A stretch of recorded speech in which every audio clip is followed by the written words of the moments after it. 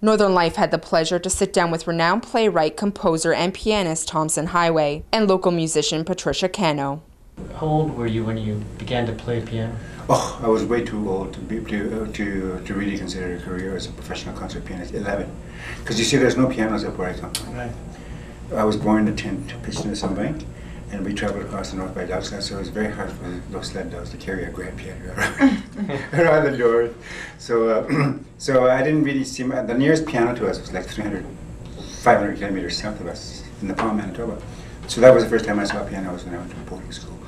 and I picked it up there and I taught myself to begin with until I was caught sneaking into the piano room one day by a nun because I went to a school that was run by nuns and uh, she caught me playing with the instrument.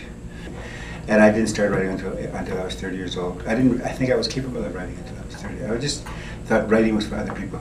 Artists, artistry was for other people. And so I, I tried it, and lo and behold, it worked. I was quite I was quite surprised. Did you have did, did it all come from within, or did you have external influences? Or Oh, of course I had external influences. I was influenced by everybody I met along the way. My father was an accordionist. My grandfather was a fiddler, uh, a legendary fiddler. Uh, I met many artists along the way. People encouraged me every step of the way to, to pursue my writing because apparently they liked my writing and they thought I, I wrote well. and uh, then uh, when I started uh, teaching the piano myself, my, to myself, I, uh, people started noticing that I had, I had musical capabilities. So teachers picked me up, and eventually the teacher who picked me up, the, who was had this William Aide, turned changed my life. He had the same teacher as uh, Glenn Gould.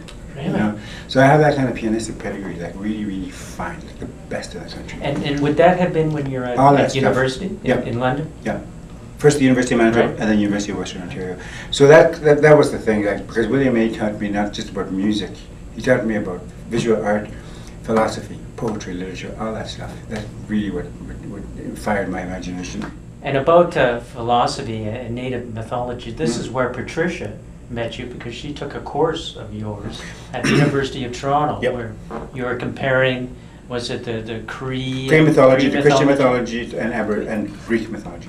So did Teaching at the you? University of Toronto. So did you? Were you talking about the Midewiwin Lodge, the Eastern Well, not so much about the? Median mythology, but the, myth- the mythological figures, figures from inside Cree and other Aboriginal mythologies. So I was teaching there, and she was a student in my class, and uh, she was ni- 18 years old. She was a sweet young thing, and uh, pretty as a peach, which of course she still is.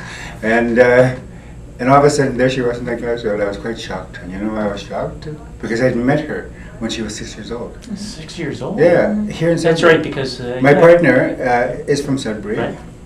and uh, an old family from Sudbury going back generations, and uh, they uh, lived.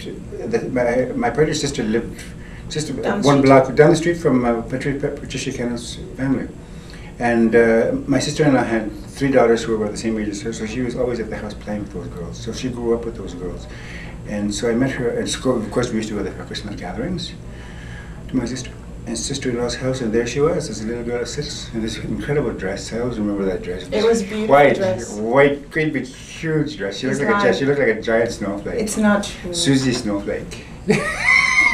You've given talks all over the world, Mhm. and I, I and are there some things in the First Nations worldview Mhm. that we in in, uh, in the West and in China and in India can learn from in terms of respect for nature, Mhm. respect for the el- elders, Yeah, absolutely. respect for the next seven generations. Mhm. Absolutely. You know, at one point in time, when when when, when uh, Christianity first arrived here in North America in 1492, um, the, the popes of Rome believed that native people did not have a soul. There had to be some kind of conference among the bishops of Rome to, to decree us into human beings, essentially. Because prior to that, we didn't have souls. We weren't considered to have souls. So at one point in time, about 50 years after, the, after Columbus's arrival in North America, we were finally given the right to have souls.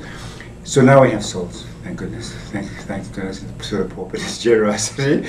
But one of the things that I find really, really, really, really, really wrong about uh, Christian mythology, let's, let's just leave it at that, as opposed to theology, that's because that's too, too powerful and disturbing a subject for too many people, is that it still to this very day considers nature as having no soul. Nature has no soul. A tree is a dead, living, inanimate thing, an object. Well, that is not the case in native mythology. Native mythology, native theology, it's the precise opposite. Nature has a soul.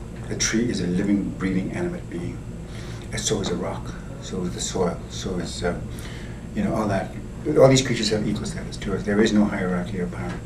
All that. That's. I would just. I would just like to uh, assist in any way that I can, spreading the news that nature does have a soul, contrary to what the Pope tells us.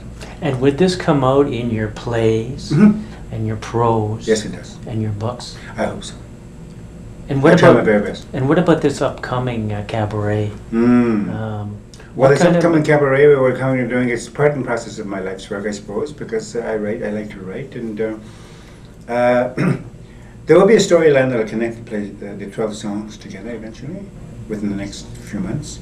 But at the moment, there's only a, a, just a very very thin line, uh, which I can actually I don't really feel free to talk about right now. But it will talk about. Well, this particular one is more of a comedy than anything else. But, but that's particular- another aspect of, of First Nations. Yeah, to make people you, laugh. You have, you are humorous people. Well, you yeah, laugh. We, yeah, we love to laugh. That's yeah. right. We're not very good at many things. we're not like we're not great at creating, uh, uh, inventing computers and, and inventing jumbo jets and all that kind of stuff. But we are good at laughing. We do laugh very, very hard. We're good laughers, and so that's one of the things I like to spread. Is make people. I like to make people laugh. I like this. My favorite. My third favorite sound. I figured one day, is the sound of human laughter. After the sound of the way, the wind through the trees, and the sound of the water lapping up against the shore, I like human human laughter. It's my favorite sound, and I like it so much that I'll do anything within my power to hear it as often as possible. So when people come to the cabaret next Friday, Yeah. be they have they have to expect that they will be laughing. If they don't laugh, they will be thrown out of the theater. we have bodyguards at the front. but they also they also will hear uh, Patricia, They hear a fantastic singer. fantastic vocalist. She's so good that when you hear her cry, if you close your eyes and you and you and you listen to her voice, you just you start to cry. Your your, chest, your entire chest area starts heaving. There will be songs of love, lullabies, um, tongue twisters, theatrical, very theatrical pieces, and uh, but most of all, I, hopefully you'll just have a really good time.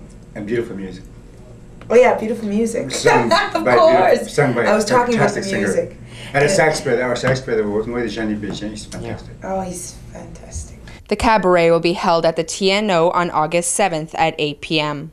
Please phone 705 929 1736 to reserve tickets.